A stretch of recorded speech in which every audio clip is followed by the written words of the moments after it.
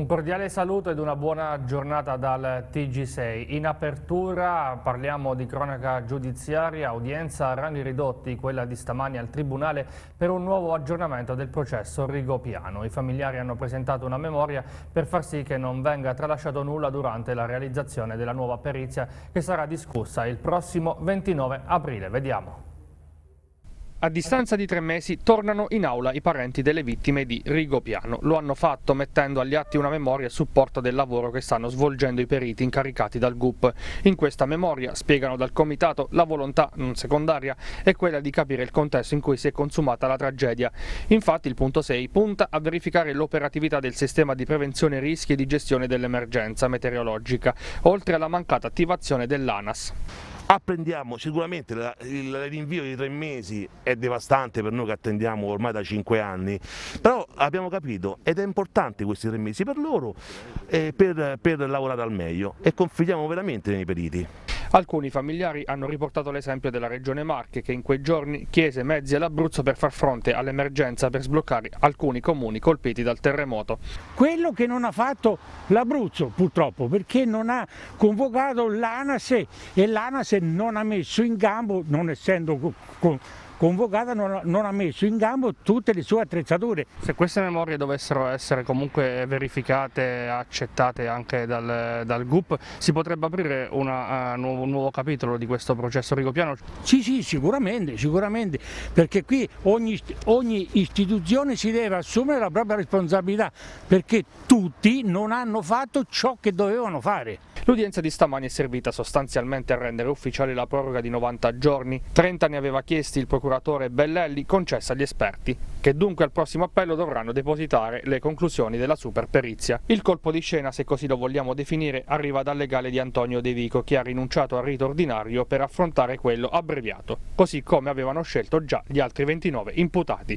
Si tornerà ora in aula il 29 aprile alle ore 10. Continuiamo con la cronaca giudiziaria. Il GIP del Tribunale di Chieti, Luca De Ninis, ha disposto l'imputazione coatta per frode in commercio nei confronti di Filippo Antonio De Cecco, presidente dell'omonimo gruppo che produce pasta, del direttore degli acquisti Mario Aruffo e dell'allora direttore del controllo qualità Vincenzo Villani. Il sostituto procuratore della Repubblica di Chieti, Giuseppe Falasca, aveva chiesto l'archiviazione. Contro tale richiesta ha presentato opposizione Asso Consum, un'associazione di consumatori. L'udienza si era tenuta il 9 aprile 2020. 2021. In base a quanto riporta oggi il Fatto Quotidiano, secondo il giudice la dichiarazione pubblicitaria di utilizzo dei soli migliori grani duri italiani, californiani dell'Arizona è stata un'informazione infedele, veniva utilizzato anche grano di alta provenienza e frutto di una precisa strategia aziendale. La vicenda prende le mosse della denuncia di un ex dirigente della stessa De Cecco e ha riguardato una partita di circa 4.500 tonnellate di grano di provenienza francese che sarebbe classificato da De Cecco come pugliese. Cambiamo argomento e affrontiamo ora quello legato alla pandemia, anche se la variante Omicron ha meno possibilità di sviluppare mutazioni pericolose ed è meno patogeno, ancora si può parlare di fase endemica, secondo il professor eh, Liborio Stupia, direttore del laboratorio di genetica molecolare dell'Università d'Annunzio di Chieti. Il servizio è di Selenia Secondi. I risultati dei sequenziamenti arrivati in questi ultimi due giorni ci dicono che ormai la variante Omicron ha preso il sopravvento sulla Delta, ma gli ospedalizzati rimangono sempre quelli colpiti da Delta. Qual è la situazione attuale adesso, professor Stupia? Allora, sul territorio in generale abbiamo avuto la conferma che abbiamo soltanto queste due varianti e che la Omicron è presente in più dell'80% dei casi, la Delta in meno del 20%.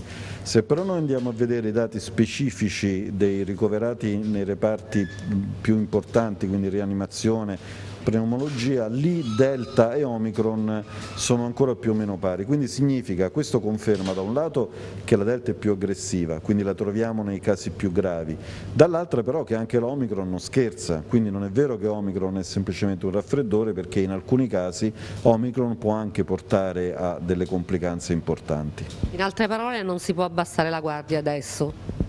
Non si deve abbassare la guardia perché abbiamo un numero di casi positivi enorme che non abbiamo mai avuto nella storia della pandemia. Quindi se anche la eh, percentuale dei casi che poi stanno male è molto più bassa rispetto alle varianti precedenti, la numerosità globale è talmente alta che noi comunque continuiamo ad avere più di 300 morti al giorno.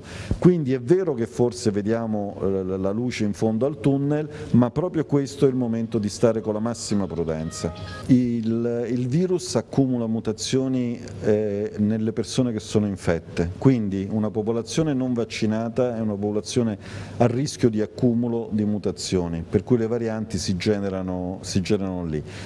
Quindi diciamo che laddove ci sono meno vaccinati c'è più possibilità che si generano nuove varianti. Ora la speranza qual è? Che siccome Omicron è già una variante che ha una capacità infettiva spaventosa, sia difficile migliorarla, migliorarla dal punto di vista del virus, cioè sia difficile creare una nuova variante che sia ancora più infettiva e che la superi. Quindi per quello si spera che Omicron possa essere forse l'inizio della fine perché probabilmente sarà difficile avere varianti più infettive. Sicuramente sicuramente le popolazioni eh, dove c'è molto addensamento, quindi molto scambio e pochi vaccinati, sono una situazione ideale per il virus per mutare. Ancora presto per parlare di fase endemica?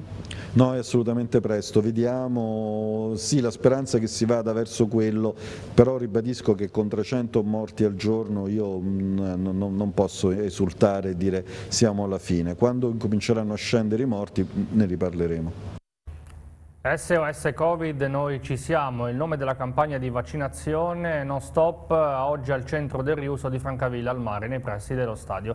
Per gli over 50 non occorre la residenza a Francavilla. Vediamo. Tre giorni di vaccinazioni non stop qui a Francavilla, si inizia oggi con la fascia degli over 12. Sì, abbiamo iniziato questa mattina alle 8.30, c'è una grande affluenza, la giornata di oggi è dedicata agli over 12, domani ci sarà una giornata dedicata alla fascia pediatrica 5-11 anni. E dopodomani, domenica, per gli over 50. E le vaccinazioni sono riservate ai residenti e domenica anche non residenti ma con priorità sempre ai residenti Presidente di Francavilla. Come ha risposto Francavilla? Ma la risposta è stata superiore alle aspettative, c'è una grande adesione e siamo contenti perché io credo che la vaccinazione sia il modo, forse l'unico modo per tentare di uscire da questa pandemia.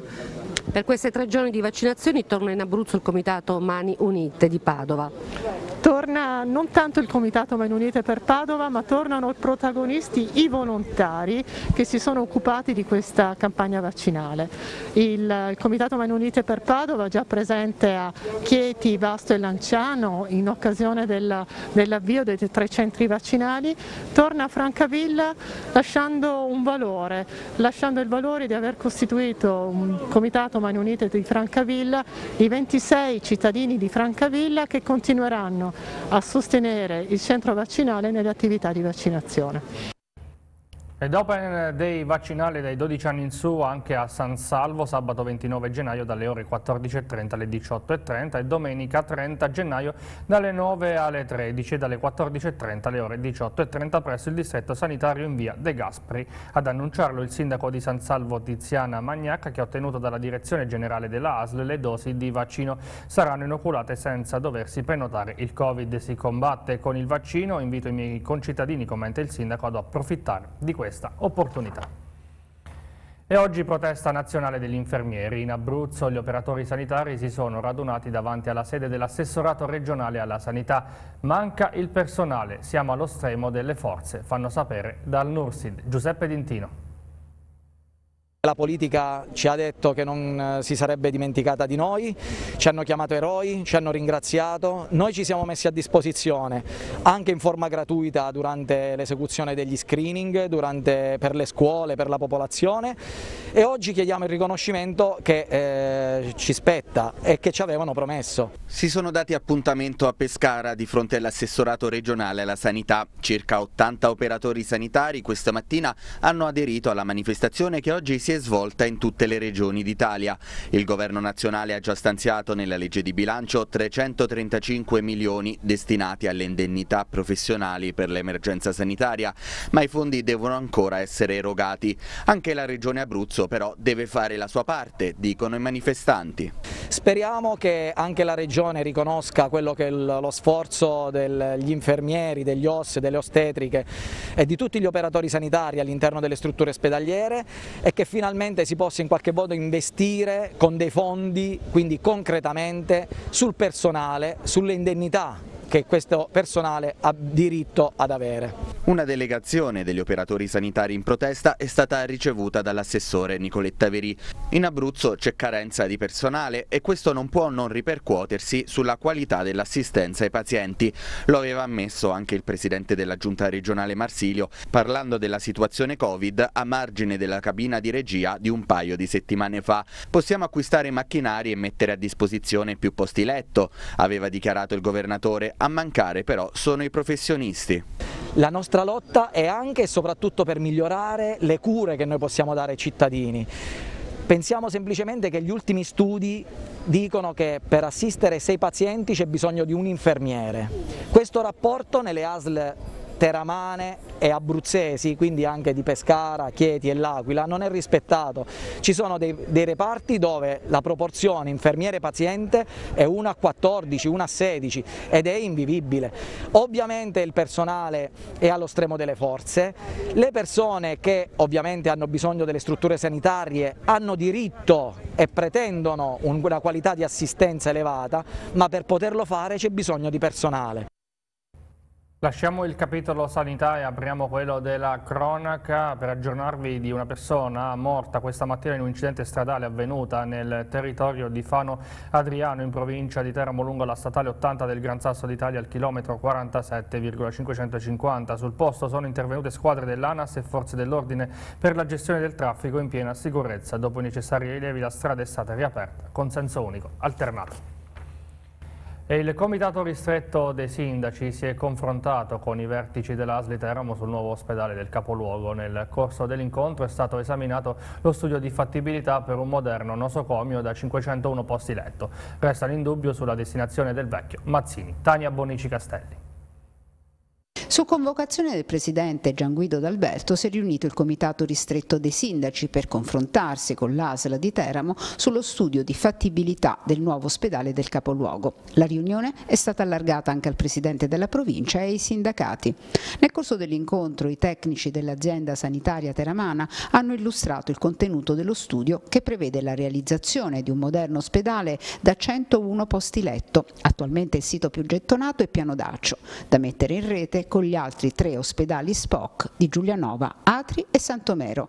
E se così fosse, cosa sarà del vecchio Mazzini? La posizione del sindaco D'Alberto non lascia dubbi. Questo è quello che avevamo chiesto e continuiamo a chiedere con grande forza è che ci sia una pianificazione eh, parallela e coordinata tra il, la rete ospedaliera e la rete territoriale. Sanità ospedaliera e sanità territoriale non possono non dialogare, così riusciamo a mantenere l'equilibrio e anche la presentazione di una, di una sanità provinciale che non lascia nessun territorio indietro ma che punta con forza alla centralità sanitaria di Teramo, città capoluogo. Ecco perché ho sempre detto, anche ieri ho ribadito, che non accetterò e non accetteremo mai una mera delocalizzazione del Mazzini. Il tema non è questo.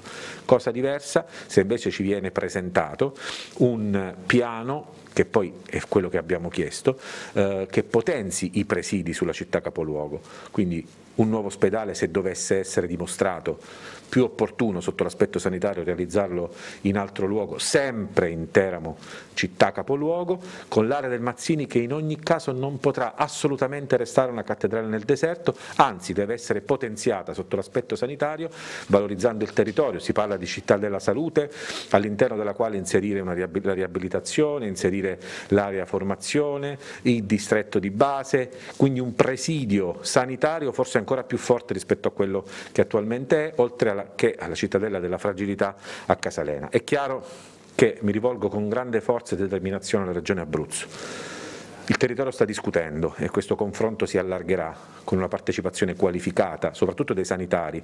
Ieri erano presenti eh, i rappresentanti degli operatori e tutti si sono espressi verso la necessità di un nuovo ospedale per l'innovazione tecnologica.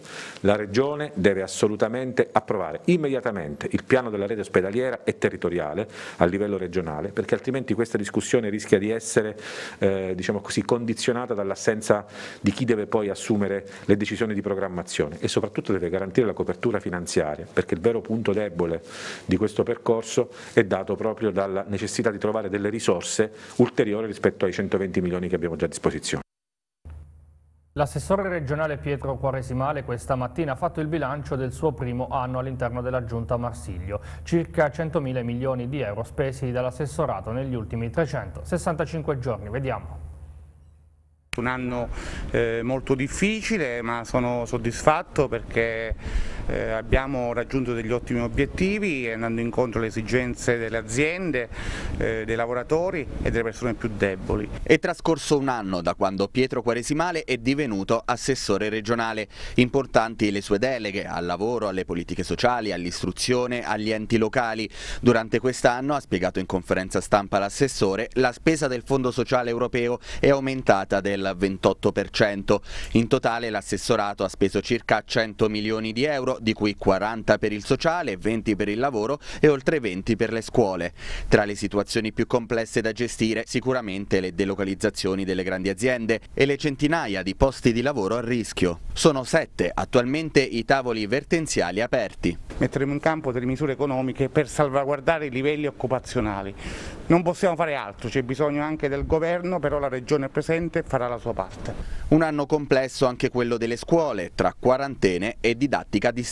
Un milione per il termoscanner, un milione per l'acquisto dei tablet per le persone bisognose, è già arrivato un acconto del PNR pari a 20 milioni per la sicurezza delle nostre scuole. Dobbiamo fare ancora tanto, però vogliamo che i ragazzi siano in presenza perché abbiamo visto i gravi pregiudizi che subiscono con la didattica a distanza, non solo a livello di istruzione ma anche a livello di socializzazione e soprattutto va a causare l'abbandono scolastico. Quaresimale divenne assessore a seguito di un rimpasto di giunta, prendendo il posto del forzista Mauro Febbo. Gli equilibri tra Lega, Forza Italia e Fratelli d'Italia però in Abruzzo devono ancora assestarsi e presto potrebbe essere messa in campo una nuova formazione di governo. Non mi riguarda, ha commentato Quaresimale. Questo non riguarda me, io penso a lavorare quotidianamente perché è un lavoro che faranno i segretari di partito, io al momento penso che dobbiamo lavorare compatti e coesi perché gli abruzzesi si aspettano molto da noi e noi dobbiamo rispondere con fatti concreti, quindi amministrare e risolvere i problemi della gente. La nuova Pescara, cui nascita avverrà dalla fusione del capoluogo adriatico con Spoltore Montesilvano, ancora al centro del dibattito politico. I consiglieri comunali di opposizione al comune di Pescara strigliano la giunta Masci e chiedono a viva voce la costituzione di una, una commissione anche per non perdere il treno importante dei fondi del PNRR. Vediamo.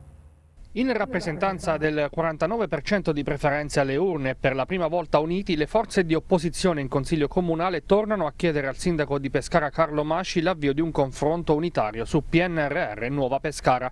La rappresentante del Movimento 5 Stelle Erika Alessandrini propone la nascita di due commissioni consigliari permanenti. Perché l'importanza strategica del momento e dei fondi a disposizione diventerà ancora più importante se la Nuova Pescara, quindi con un comune più grande, fuso, saprà cogliere l'occasione ed è importante che la città di Pescara attraverso una commissione istituita appositamente produca quegli atti che portino poi a, finalmente ad una votazione, ad una decisione che arrivi a confermare l'istituzione del comune di Nuova Pescara il primo gennaio 2023. In questi giorni proprio in Consiglio Comunale si sta discutendo il DUP, il documento unico di programmazione. Peccato, dice Marinella Sclocco, non si parli di questi due argomenti importanti. E solo grazie alla nostra opposizione, all'opposizione unita, siamo riusciti a far eh, approvare degli emendamenti proprio eh, in questo senso, cioè chiediamo al Comune di Pescara di parlare, di cominciare a programmare questi fondi che arriveranno proprio anche in vista della nuova Pescara.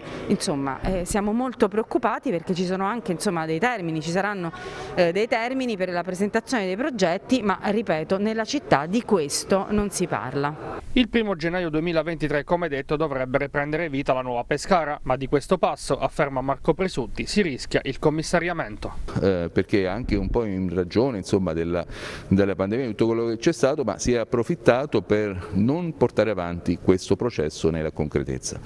Invece è necessario farlo, anche perché altrimenti si avrà il commissariamento da parte della Regione, sarebbe una sconfitta per la politica, ma soprattutto sarebbe una sconfitta per i cittadini che ci hanno eletto, che vogliono Nuova Pescara e vogliono che si faccia con il contributo di coloro che hanno scelto per rappresentarli. In occasione della giornata mondiale delle comunicazioni sociali, la diocesi di Teramo Atri ha voluto dedicare un momento di riflessione sul tema dell'informazione con, con un, convegno all'Università di Teramo. Il tema dell'incontro è stato l'ascolto. Relatore d'eccezione Paolo Ruffini, prefetto del Dicastero per la comunicazione della Santa Sede. Vediamo. Non si comunica se non si è prima ascoltato e non si fa buon giornalismo senza la capacità di ascoltare. È il messaggio di Papa Francesco per la 56esima giornata mondiale delle comunicazioni sociali. Un messaggio dibattuto nel corso del convegno dal titolo Ascoltate, dedicato dalla diocesi di Teramo Atri al mondo dell'informazione, svoltosi all'Università di Teramo in collaborazione con la Facoltà di Scienze della Comunicazione e l'Ordine dei giornalisti d'Abruzzo. Relatore d'eccezione Paolo Ruffini prefetto del Dicastero per la comunicazione della Santa Sede. Noi dobbiamo semplicemente riscoprire che non c'è dialogo se non c'è ascolto che a tutti noi piace essere ascoltati e quindi abbiamo anche il dovere di ascoltare, che nell'ascolto dell'altro, eh, quando comprendiamo che l'altro alla fine non è una cosa così diversa da noi, noi possiamo specchiarci nell'altro insieme, possiamo eh, uscire dalle difficoltà, insieme possiamo ricercare la verità, insieme possiamo confrontare le, le idee. Questo modo di fare comunicazione aiuta a costruire un mondo un po' migliore di quello in cui a volte eh, viviamo, in cui appunto tutti parlano e nessuno ascolta. I nostri editori, le nostre strutture redazionali, comunque il complesso dell'informazione in questo momento tenta a privilegiare l'ascolto di altri, della politica, dei potenti e quant'altro. Come recuperare questa nostra vocazione ontologica? Attraverso il rispetto delle regole, delle regole deontologiche, attraverso lo studio, attraverso la comprensione dei fatti. I fatti non parlano da soli, vanno interpretati e a noi spetta dare significato e dare senso a questo tipo di, di fatti. Oggi il ricordo è andato a San Francesco de Sales, patrono dei giornalisti, ma anche a San Tommaso d'Aquino che perseguiva l'umiltà nella comunicazione, la conoscenza prima di parlare e la formula del a me sembra che e mai io dico che. La conoscenza in realtà è molto più complessa di ciò che noi pensiamo, per cui bisogna fare in modo di non confondere informazione con conoscenza.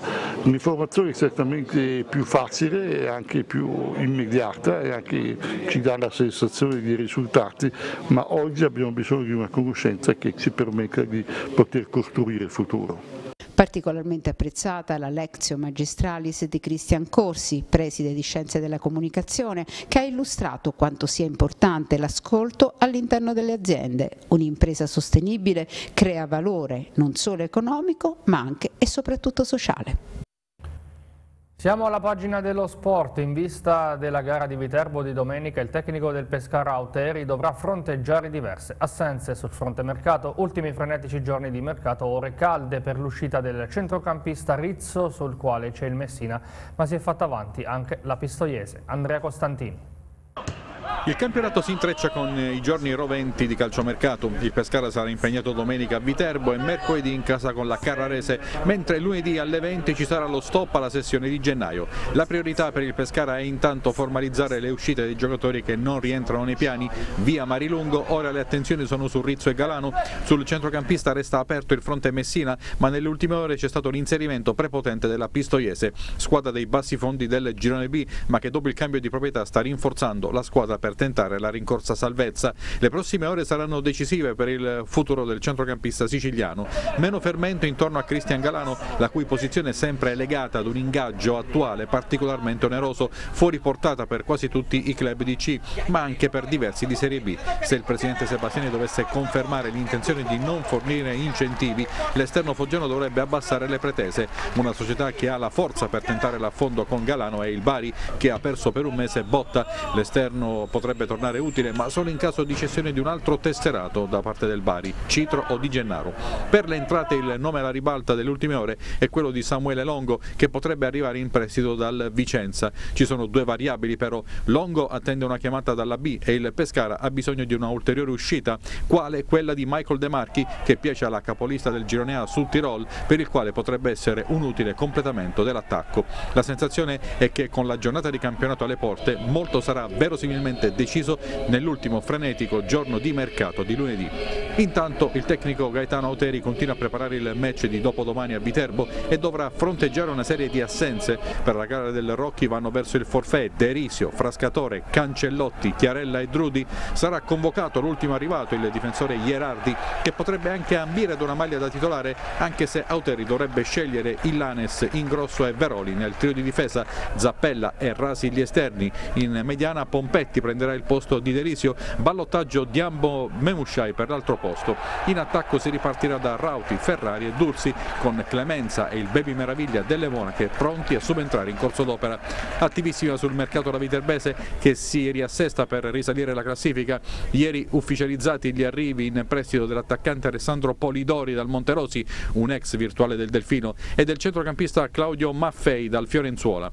E poi la cessione di Michele Volpe alla Vibonese. Out Pavlev dovrebbe debuttare un altro volto nuovo in difesa, il terzino semenzato, a guidare l'attacco l'ex Perugia Bianchimano, supportato da Murilo e Volpicelli.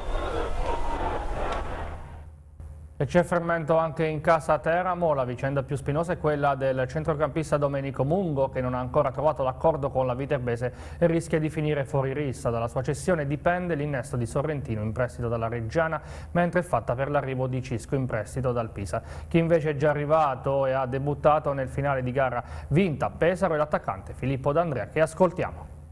Beh, sicuramente io sono venuto qui per dare il mio il mio aiuto, il mio contributo a questa squadra che secondo me la classifica non merita questa posizione, una piazza così importante dovrebbe stare più in alto. Spero di poter aiutare questa squadra in qualsiasi ruolo, spero in attacco perché il mio ruolo è punta centrale o a due, anche dietro la seconda, facendo la seconda punta. Quindi dove il mister mi vuole far giocare io mi faccio, faccio trovare pronto. Rappresenta un'esplosione spero per me perché una piazza così importante, così tanto visibile, con così tanta visibilità per me è importante, ho 23 anni e spero qui di riuscire a fare bene, tanto bene, e aiutare questa squadra magari ad arrivare in più in alto possibile. Il mister Guidi l'anno scorso l'ho visto con la Casertana e diciamo che è stata veramente una grande squadra che giocava sempre a calcio, anche io a Foggia quando ci abbiamo giocato contro è stata veramente tosta. E sono veramente contento di essere allenato da un mister così perché sono sicuro che con lui posso crescere veramente tanto. Beh, diciamo che a Seregno non ho trovato tanto spazio, non sono stato messo nel mio ruolo, ho giocato più mezzala. Anche No, no, no, no. Ah, okay, allora... In attacco ho giocato, abbiamo fatto un po' di partite a tre, ho giocato esterno in attacco. Quarto di centrocampo non l'ho mai fatto. Quando arrivano nuovi ragazzi in una squadra si spera sempre di... Spogliatoio hai trovato? No, ho trovato un grande spogliatoio, veramente. Non, eh, non me l'aspettavo e sono veramente contento perché sono tutti bravi ragazzi, mi hanno accolto subito bene, sono contento.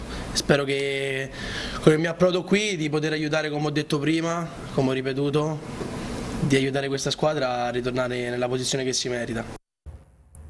Siamo al volley, in A2 la Sie Cortona anticipa domani sera alle ore 19 la gara interna con il Portoviro, mentre in A2 femminile pure domenica, ma alle 15 l'Altino sarà impegnata sul campo, della, sul campo sicuro dell'Aragone. Invece il match Abba Pineto Volley SMA Porto Maggiore in programma domenica 30 alle ore 18 è rinviato a data da destinarsi a causa di diverse positività all'interno del gruppo squadra bianca-azzurro, sempre fermi i campionati di B e C che riprenderanno a metà febbraio.